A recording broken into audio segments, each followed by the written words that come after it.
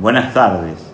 Hoy quiero hablarles como intendente, pero también como vecino de nuestro pueblo, para agradecer a todos los que están cumpliendo con las disposiciones del gobierno nacional y provincial, y pedirle a los que no lo están haciendo que lo hagan, porque si no lo hacen ponen en riesgo a que mucha gente de nuestro pueblo pueda verse afectada por esta pandemia que preocupa y mucho. Quiero que sepan que Las Varas tiene más de 160 personas mayores de 65 años y que son consideradas de riesgo.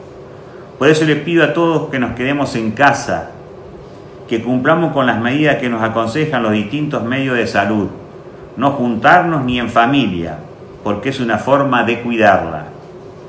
Esto no es para alarmarlos, sí para cuidarlos. Yo sé que mucha gente cree que a nuestro pueblo no llega, y espero que tengan razón.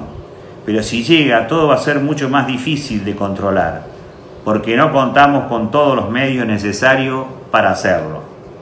Ayúdame, no pongas en riesgo tu vida ni la de los demás, porque de esa manera nos salvamos todos.